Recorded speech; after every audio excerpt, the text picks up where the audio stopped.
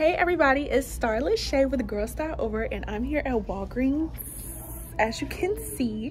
And i'm going to be teaching you guys today how to pick a foundation what drugstore products are the best for you to use and what you can get when you're trying to do your beginner's makeup. So y'all stay tuned. My face got a little foundation on it y'all because i've been trying stuff on. You gonna see it in the video. But what's up y'all? So let's go on this journey. Yeah sure. My wig look crazy right now because we was at the hospital or whatever and i wasn't trying to look all that cute you feel me? Girl start over though baby. Girl start over. All right so when i say concealer um, and I say I use Rimmel matte concealer this is the concealer that I use. So these ones this concealer you cannot open. The reason I like this is the shade that I use. Oh no no no. 512 is the shade that I use but they don't have it. It's just 432 and 410 so this is the shade 512 that I use that matches very closely to my skin. And then anything between 410 and 432 would be something I use as a highlighter. But you can pick your concealer based on if you're trying to have like a highlighted look. Like if you brown like me if you want a highlighted look honestly you could go probably for like this shade right here. Or really giving a, um, a bronze color right here they are lighter but they're not too light. And then they also have foundation. Now i have yet to use their foundation but their foundation shades really don't match my skin and they don't have a lot of colors so they only have about these colors right here. 504 and i believe 502 was too dark for me. Um, they have 501 and so basically i'll show you guys how this store. Okay so it comes out like this you don't pick based on your hand you pick it based on your face. So this was shade 501 and you see how like gray that looks. I obviously wouldn't buy this color but that's how. So i wouldn't recommend their foundation unless like you're really one of these colors but if you're not i probably wouldn't wear the foundation. But their foundation you know it is matte and it's probably still good. But i just would definitely recommend the concealer. All right so the goal when you're picking a foundation shade you want a shade that really blends in with your skin.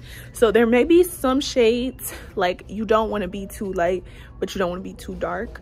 Um, but if you cannot find a shade that's like literally um like you don't want anything too light. So if you don't find anything like exactly your skin color don't get it. Better to get a darker shade and then get concealer that's like lighter than your skin tone so you can have like that highlighted contour effect versus getting something too light because you don't want to look dead. Like baby you're not going to a funeral you're just doing your makeup. All right so here is wet and wild. I love wet and wild for the cheap like you see that palettes 329 neutral colors like i love these palettes.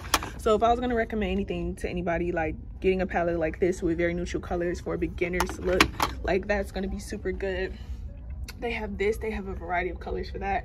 I absolutely love their matte uh, liquid lipstick and their lip gloss. Really all the shades are popping. Um i have used their bronzer. I do like their bronzer. So if you're going to use bronzer and you're like my color you probably need like the darkest bronzer. Because when i got a lighter one it was too light. They got highlighting power um powder contour but i don't like their contour. I don't like cream contour let me not say theirs but they also have incognito which is some super bomb full coverage concealer. So they don't look like they would have like my shade but like this would it looks a little white on the camera but not so in real life. I might have to like use something like this or like this shade but they don't have it so they have face primer finishing powder and then they also have foundation. I didn't really like their foundation i'm not gonna lie to anybody. Um their foundation was like super wet to me. And they also did not have the color of my skin because as you can see like it's super limited. But if you're like a light skinned person or like lighter than me you know you might find good success with all right. So if you don't like matte makeup and you like that dewy you know certain type of stuff elf and wet and wild are going to be good products good brands for you. All right so here's elf they have brushes. I'm not against their brushes but everybody should know by now i love real technique brushes. Their brushes are bomb and the closest to like some real makeup artist quality. But they have blending brushes or beauty blenders. I'm sorry beauty blenders blending brushes um like foundation brushes. These are the kind of brushes you would use like when you're putting on like the foundation on your face. So they have primer. All right so look they got hydrating primer um mineral infused. So as you can see they're not really like matte people. These are people to help your skin like kind of be dewy. They got the camo cream. And here is their foundation. Once again luminous dewy finish. I hate it i hate it so bad. But they will probably have like shades closer for my skin type. And then they have elf Camo concealer. So a variety of shades. This concealer to be honest is super oily. I don't like it for real um because i like matte makeup. But it, it's still good. It's just i don't like it for real because i don't like that kind of makeup. So here are elf makeup. And see they only have like this matte magic mist and set but most of it misty. So as you can see there are so many brands and you don't have to try every single brand. Um, how i got into picking certain brands is because when i used to watch makeup tutorials these were the brands that the girls used. Some of them i kind of just like winged on my own but i did used to like try different things like when i was doing makeup. And i did find out what i liked and what i didn't like so you don't have to use these products. It's just kind of just how i pick though and this is how i choose. So i never really used revlon but i did use covergirl before at one point in time. They did have some type of concealer that i did like but i don't really like see that right now. But they look like they um improved their products and stuff. Like if i was going to try anything TruBlend undercover concealer but it's full coverage. So you can always make educated choices based on the type of makeup that you want. So you can always look at the products and be like oh do i want matte makeup or do i want dewy? Like and then you can kind of decide on which brand you want to work with. All right so now we at Maybelline, Maybelline, Maybelline, Maybelline. Okay, Maybelline got right here and right here. So y'all, this is the foundation I swear by. When I used to wear this foundation, it was like $6. Hello, it went to 10 But this is the one Maybelline Fit Me, Dewy, and Smooth. Now I will say this. They actually do can kind of act matte. But it's not super, super oily. But this right here, they was fine. They, they was getting it right. But they have matte poreless. This is this is the one i used to use bro. I think i used to use shade 350 but bro this this right here fa. You need to get this. I love all the shades they have as well. They have so many shades but like makeup artists if you go watch any makeup artist video on youtube like they're using maybelline fit me if they're talking about some beginners products or something like that. So they have primer. They have loose powder. You feel me which in another word you could use it for like see finishing powder. But you kind of use it like banana powder but they have some like for darker skin shades like myself. They have blush. Um they have eyebrow um gel which they call it eyebrow tattoo but it's really like eyebrow gel. Um look at this. They have correcting concealer. I mean they have eyebrow pencils they have um, mascara but if you are going to use anything from Maybelline Fit Me you're going to want to use this. All right so how do you pick your shade? So always start with the darker shade. Like go to the darkest shade that's closest to your skin and be like okay this is super dark so don't use that one. So for me like i already know 350 was one I would wear, but I'm just gonna wear uh, try 315 like for the sake of the video. So too much came out entirely too much, and that is so bad. But we're just gonna try for the sake of the video. So, cause I want people to see. So you see, this is 315.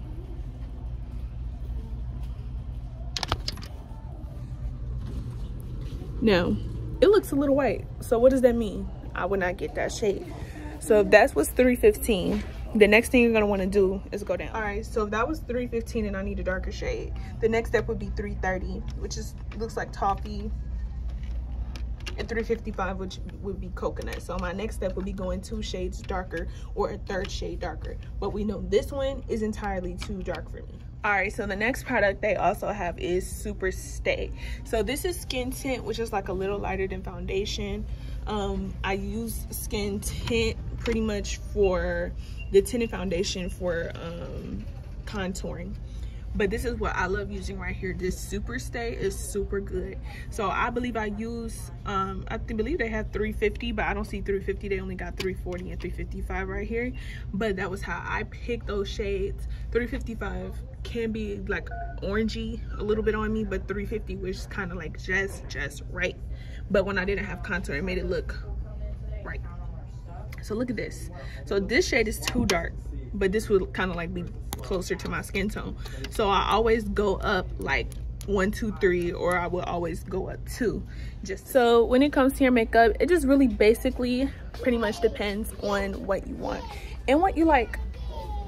My kids are in the store with me and oh my gosh it's it's it's giving we need to go home so all right guys so we're gonna try on one more brand um, because everything in here like isn't open for us to try on but i do see milani we're able to try on so we're gonna try milani. All right so step one always find the shade that's like darker than your skin tone so i would say this is way too dark for me. So either i would be amber or i would be chestnut which would be 11 or 13 so i'm just gonna go ahead and try 13 for the sake of everything so we're just gonna check out this color. I want to get it out the light so you guys can see it. So this is how it looks and then i'm gonna okay.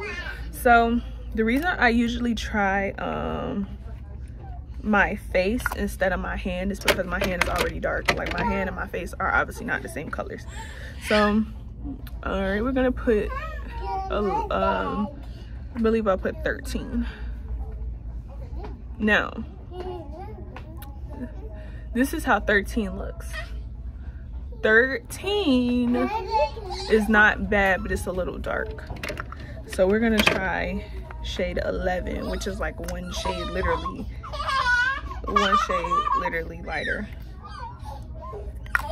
And you can even see it like when it's on my hand. So we're gonna try that one over here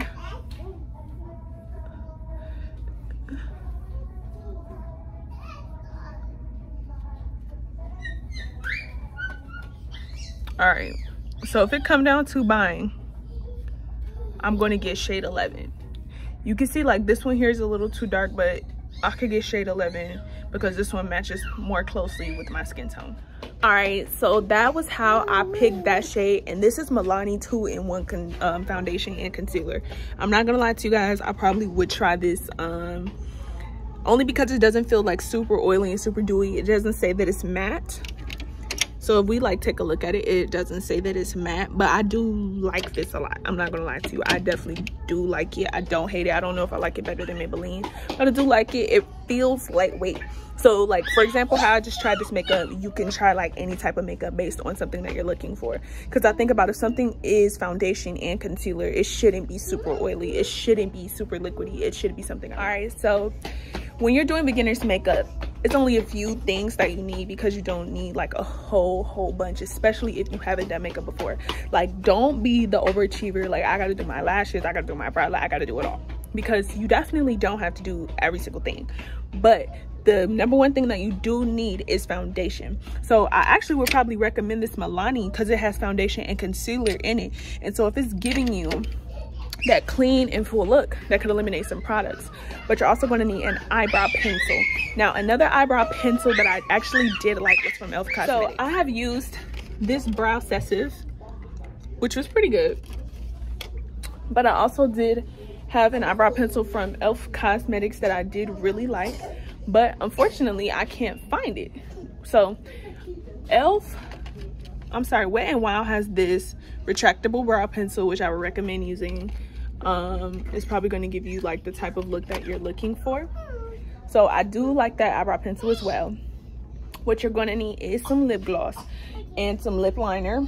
So, right, so if you wanted like a nude lip so you can get like these kinds of colors from like wet and wild and you can get like a liquid matte lipstick to outline like your lips with and i'll probably like use like this kind of color or like a darker brown as color. far as products if you wanted to get beauty blenders i would recommend getting these elf beauty blenders. They're just going to be cheaper off the rip. Um, you can get you some elf brushes as well. Um i do recommend kind of like priming your face with something but you also really can just use like toner or um rose water any of those types of things. I never used any of these before. However you can use it based on your skin type. So if you feel comfortable with trying like any of these types of products i would definitely recommend something to prep your skin with. I use baby skin by maybelline. For an eyeshadow palette i would recommend this wet and wild eyeshadow palette right here. It has black brown all the pretty much basic colors that you would need in an eyeshadow palette and it wouldn't be super hard when you are brushing on or blending eyebrow uh, or eyeshadow i'm sorry you're going to want to use like these types of brushes so they can be like kind of lightly done. Now for actual brushes that are the best real techniques they cost about 22 dollars but y'all i'm telling you real techniques is the bomb. This even looks really good too. Eco tools i never use them but they look good but i really like real techniques. They really give a really good really good feel. Make sure you got you an eyebrow pencil. Make sure you got you some foundation. Um you can make sure that you have concealer if you don't get a two-in-one um you're going to want to make sure that you also get you some lip gloss and lip liner. Make sure you have beauty blenders and eyebrow pencils. And then we're going to talk about the final touches and the final piece which would technically be lashes. All right so these are the kind of lashes they have at walgreens. And so in all honesty it really just depends on what you want to wear and what you want your lashes to look like. I like these i i like kiss. Kiss is pretty good so they have these kind of lashes. If you are looking for something that is more of a natural look that i would recommend like probably getting these ones or even some very similar to these now it may look a little dramatic right now but you want something like this more natural. Would i pay 20 dollars for this no do not buy these lashes for 20 dollars. I mean it's good though because it has four um four lashes but they're really not going to be reusable because they're from the store. So just wanted to put y'all on the free game. But I would recommend like even getting some of these. Like these look really cute. And so this could be things that you get for your first makeup look. And guys here this is Duo Quick-Set. Here we go right here. This is the lash glue that I actually literally recommend because this stuff actually literally works fast and it's good. So i hope this video was helpful for you guys. Let me know if you guys learned anything. Let me know if you're going to come to walgreens or to cvs let me know what you guys are going to try what you guys are going to use. I'm definitely going to try this milani next though oh look at this. Revolution. Look at this. Look at this. Skin tint? Skin tint moisturizer. Oh this look fire. I like that. Yeah we got some new stuff to try y'all but let me know girlies in the comments below what's up. Stay tuned. Let me know what you use what you like using what type of skin you got because i didn't even get into the type of skin you got really depend on the product you should get too. But that's just a little bit and y'all y'all know i don't use a whole bunch of products when i do my face because some of them people be using like 20 products on their face. I use like less than 10 i don't use all that stuff. So if you think i should use more let me know. Like what are you guys thinking? What do you guys think? But okay guys i will see you next week or later this week. I don't know. But bye